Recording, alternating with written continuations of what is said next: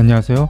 먹튀 조사원 베가스입니다. 먹튀 조사 진행 중에 환전 지원하면서 먹튀하고 있는 아크 제보가 들어왔습니다. 사건이 발생한 날은 12월 12일이고 22시 46분에 700만원 환전 신청했는데 너무 안 나와서 물어보니까 확인 중에 있다고 잠시 후에 한 번 더 확인해 보라고 합니다. 그래서 기다리고 있었는데 갑자기 쪽지로 현재 인터넷 사정이 안 좋다면서 복구 후 쪽지 준다고 해서 다시 기다리고 있다가 사이트 들어가 보려고 하니까 로그인이 안 됩니다. 먹튀 처음 당해서 혈압 상승 중입니다. 하벤 카지노에서 나온 직원이라며 잘 챙겨준다고 해서 가입했는데 소액 환전은 5분 안에 해주더니 고액 환전은 바로 먹튀하네요. 절대 사용하지 마세요. 거짓 사이트입니다. 먹튀 사이트 정보를 더 알고 싶으신 분은 구글에 베가스.com 검색하신 뒤 확인하시고 다른 곳에서 먹튀를 당하셨다면 베가스 커뮤니티로 먹튀 제보하시기 바랍니다. 제일 처음 제보를 하시는 분에게 기프티콘 또는 인증업체 포인트를 지급해드리고 허위 제보한다면 연구 탈퇴 대상이 되니 진실만 말씀해 주시기 바랍니다. 저희 베가스는 먹튀 사이트가 사라지는 그날까지